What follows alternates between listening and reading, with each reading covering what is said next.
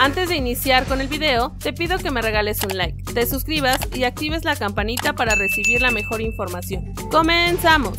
El Sporting abre la puerta a extender la sesión de Jordán Carrillo. El Real Sporting ya ha comenzado con la planificación de la plantilla de cara al próximo curso. Con 8 puntos de distancia respecto a la zona de descenso, solo una hecatombe en las últimas jornadas provocaría que el club no estuviera en la Liga Smartbank. Por ello, desde la dirección deportiva se empieza a trabajar en quienes llegarán, se quedarán o se irán. El último nombre que ha salido es el de Jordán Carrillo, donde la entidad cuenta con el jugador de cara a la temporada 23 diagonal 24. El jugador abrió la puerta recientemente a continuar y el club parece haber recogido el guante. Tal y como publica La Voz de Asturias, la idea que existe en las oficinas de la entidad es la extender el vínculo con los rojiblancos durante un año más. El mexicano fue una apuesta del grupo Orleji tras adquirir el cuadro gijonés en junio de 2022. Un mes después de la compra, aterrizó en las filas exportingistas procedente del Santos Laguna de México, siendo así su primera experiencia por suelo europeo. Un primer año en el fútbol del viejo continente donde el joven extremo ha necesitado un periodo de adaptación. En cuanto a la disputa de minutos. Ha sido un año irregular ya que no ha contado con la continuidad necesaria y donde ha estado, incluso algunos periodos sin saltar al terreno de juego. Por otro lado, Eduardo Fentanes, el único culpable de la pésima racha de Santos Laguna. Santos Laguna se sostiene con alfileres en la zona de clasificación al repechaje del torneo Clausura 2023, por lo que aficionados buscan culpables y no son pocos los que señalan como responsable al director técnico, Eduardo Fentanes. Dos torneos atrás, Fentanes apareció como bombero, como parte de una